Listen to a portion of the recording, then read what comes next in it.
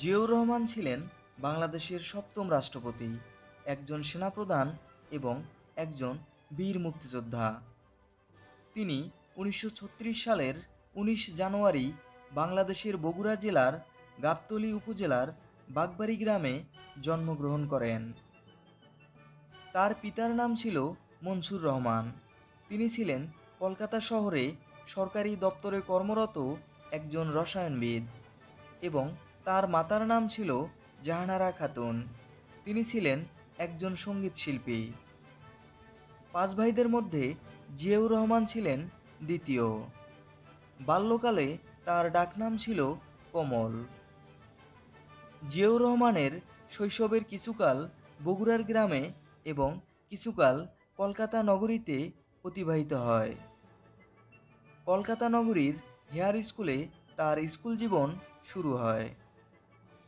ভারতবর্ষ বিভাগের পর তার পিতা পাকিস্তানের করাচি নগরীতে চলে যান, যার ফলে জিয়াউর রহমান কলকাতা হেয়ার স্কুল ত্যাগ করেন এবং করাচিতে অবস্থিত করাচি একাডেমি স্কুলে ভর্তি হন। উনিশশো সালে তিনি কৃতিত্বের সঙ্গে মাধ্যমিক শিক্ষা সমাপ্ত করেন এবং উনিশশো তিপ্পান্ন সালে করাচিতে অবস্থিত ডিজে কলেজে ভর্তি হন। একই বছর তিনি কাকুল মিলিটারি একাডেমিতে অফিসার ক্যাডেট রূপে যোগদান করেন। উনিশশো পঞ্চান্ন সালে তিনি সেকেন্ড লেফটেন্যান্ট হিসেবে পদোন্নতি লাভ করেন। সামরিক বাহিনীতে তিনি একজন সুদক্ষ ছাত্রসেনা ও কমান্ডো হিসাবে সুপরিচিতি লাভ করেন এবং স্পেশাল ইন্টেলিজেন্স কোর্সে উচ্চতর প্রশিক্ষণ গ্রহণ করেন। করাচিতে দুই বছর কর্মরত থাকার পর তিনি উনিশশো সাতান্ন সালে ইস্ট বেঙ্গল রেজিমেন্টে স্থানান্তরিত হয়ে আসেন। উনিশশো উনষাট থেকে উনিশশো চৌষট্টি সাল পর্যন্ত তিনি পাকিস্তান সেনাবাহিনীর গোয়েন্দা বিভাগে দায়িত্ব পালন করেন। সেই সময় উনিশশো ষাট সালে পূর্ব পাকিস্তান তথা বাংলাদেশের দিনাজপুর শহরের বালিকা খালেদা খানমের সঙ্গে জিয়াউর রহমান বিবাহ বন্ধনে আবদ্ধ হন। উনিশশো পঁয়ষট্টি সালের বিশ নভেম্বর জিয়াউর রহমান ও খালেদা দম্পতির প্রথম পুত্র তারেক রহমান জন্মগ্রহণ করেন এবং উনিশশো উনসত্তর সালের বারো আগস্ট দ্বিতীয় পুত্র আরাফাত রহমান কোকো জন্মগ্রহণ করেন। উনিশশো ছেষট্টি সালে জিয়াউর রহমান পাকিস্তান মিলিটারি একাডেমিতে পেশাদার ইনস্ট্রাক্টর পদে নিয়োগ লাভ করেন। সে বছরই তিনি পশ্চিম পাকিস্তানের কোয়েটার স্টাফ কলেজে কমান্ডো কোর্সে যোগদান করেন। উনিশশো উনসত্তর সালে তিনি মেজর পদে উন্নীত হয়ে জয়দেবপুরে দ্বিতীয় ইস্ট বেঙ্গল রেজিমেন্টের সেকেন্ড ইন কমান্ডো পদের দায়িত্ব লাভ করেন।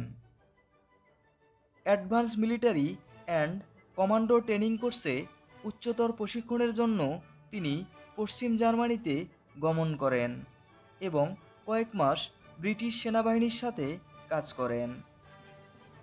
উনিশশো সত্তর সালে একজন মেজর হিসাবে তিনি দেশে ফিরে আসেন এবং চট্টগ্রামে নবগঠিত অষ্টম ইস্ট বেঙ্গল রেজিমেন্টের সেকেন্ড ইন কমান্ডো পদের দায়িত্ব লাভ করেন।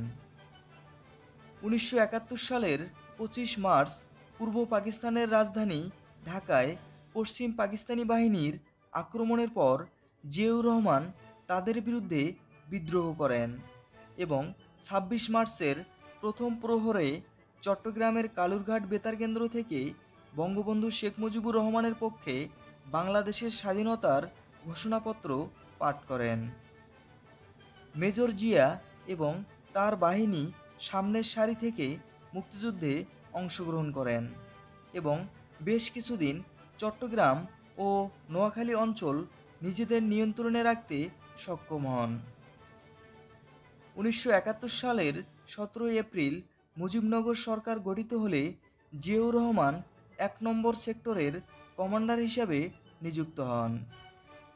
এপ্রিল হতে জুন মাস পর্যন্ত তিনি এক নম্বর সেক্টরের কমান্ডার হিসাবে এবং জুন থেকে অক্টোবর মাস পর্যন্ত এগারো নম্বর সেক্টরে জেট ফোর্সের কমান্ডার হিসাবে যুদ্ধে অংশগ্রহণ করেন। স্বাধীনতা যুদ্ধে বীরত্বের জন্য তাকে বীর উত্তম খেতাবে ভূষিত করা হয়। স্বাধীনতার পর জিয়াউর রহমানকে কুমিল্লায় সেনাবাহিনীর চল্লিশতম ব্রিগেডের কমান্ডার হিসাবে নিয়োগ করা হয়। উনিশশো তিয়াত্তর সালের অক্টোবরে তিনি মেজর জেনারেল পদে পদোন্নতি লাভ করেন। উনিশশো পঁচাত্তর সালের চব্বিশ আগস্ট বঙ্গবন্ধু শেখ মুজিবুর রহমান নিহত হবার দশ দিন পর জিয়াউর রহমান বাংলাদেশ সেনাবাহিনীর প্রধান হিসাবে নিযুক্ত হন। উনিশশো পঁচাত্তর সালের সাতই নভেম্বর এক অভ্যুত্থানের মাধ্যমে তিনি ক্ষমতার কেন্দ্রবিন্দুতে চলে আসেন। উনিশশো সাতাত্তর সালের একুশ এপ্রিল রাষ্ট্রপতি আবু সাদাত মোহাম্মদ সায়েমের উত্তরসূরি হিসাবে জিয়াউর রহমান বাংলাদেশের রাষ্ট্রপতি হিসাবে শপথ গ্রহণ করেন। উনিশশো আটাত্তর সালের তিন জুন রাষ্ট্রপতি নির্বাচনে জিয়াউর রহমান জয়লাভ করেন এবং ওই বছরের পহেলা সেপ্টেম্বর বাংলাদেশ জাতীয়তাবাদী দল বিএনপি গঠন করেন। তিনি এই দলের সমন্বয়ক ছিলেন এবং প্রথম চেয়ারম্যান হিসাবে দায়িত্ব পালন করেন। উনিশশো উনআশি সালে বাংলাদেশের দ্বিতীয় সংসদ নির্বাচন অনুষ্ঠিত হয়।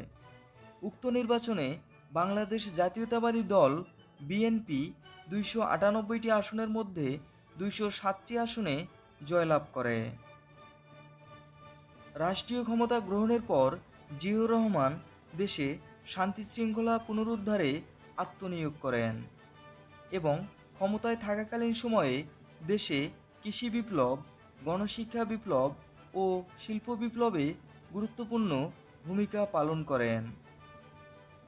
উনিশশো একাশি সালের উনত্রিশ মে চট্টগ্রামের স্থানীয় সেনা কর্মকর্তাদের মধ্যে সংঘটিত কলহ থামানোর জন্য জিয়াউর রহমান চট্টগ্রামে আসেন এবং চট্টগ্রাম সার্কিট হাউসে অবস্থান করেন।